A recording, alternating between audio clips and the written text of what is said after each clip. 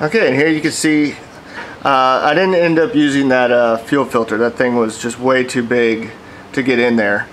Uh, but what I did was able to find was this clear plastic tubing.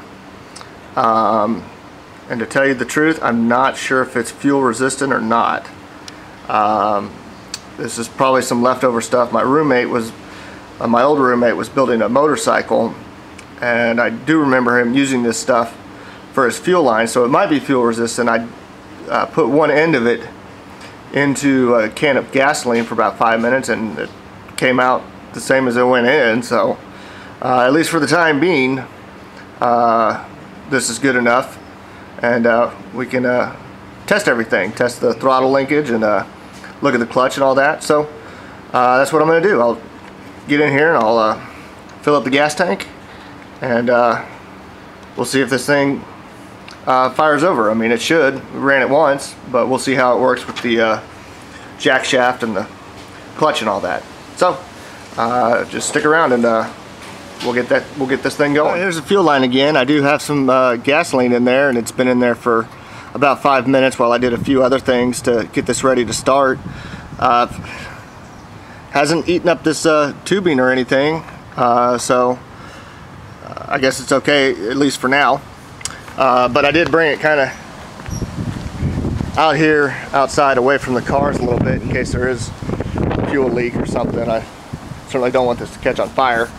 But what I was doing was coming in here and taking the cover, the chain shroud off because I still had to snug down uh, this crank bolt for the uh, clutch assembly.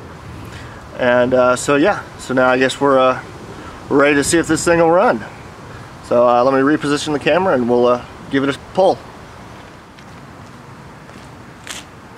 Alright, and just like the manual said, we'll set it to choke, make sure our switch is off, give it a few pulls to make sure we get gasoline into the carburetor.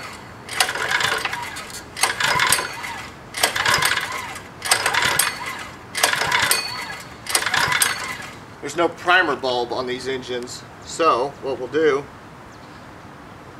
set the throttle up just a hair. Turn the switch on. Let's see what happens. Wants to run. Let's try that again. Let's try half choke. It's still on its kickstand? Yep.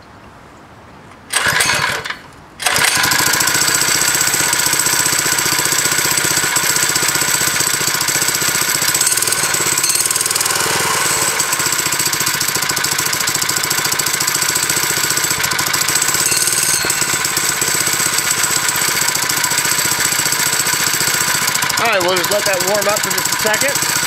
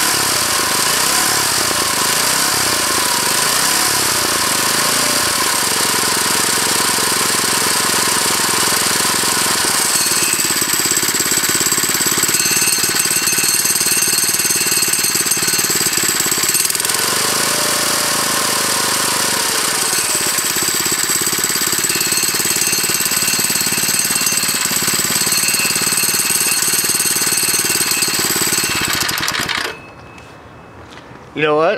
I think it's time to put the rear chain on this thing and see how it rides. So let me go do that and then we'll uh, see how it all works. But it was a good test, so that's good news. Alright, just a real quick short vid here. You can see I got my rear chain on. Zoom down here. See there's the chain tensioner with the spring. Goes up all the way there to the jack shaft. And there's the clutch chain and jack shaft. So we'll just put the cover on and then we'll be ready to uh, take it for a spin.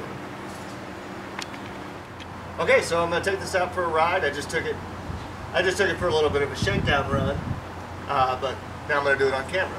And just a couple things. I, I fix up some loose ends here. This is the old clutch cable from the two-cycle, uh, the old kill switch, which I'm gonna try and uh, uh wire into this motor. Uh, but that's it. And so yeah, we'll just see if we we'll get it started and uh, take it for a spin. Give a little gas.